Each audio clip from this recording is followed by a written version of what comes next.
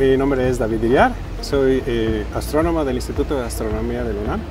Soy responsable del proyecto BUTES. La red BUTES es una red que se dedica al seguimiento eh, lo más rápido posible de los eventos transitorios que ocurren en el espacio.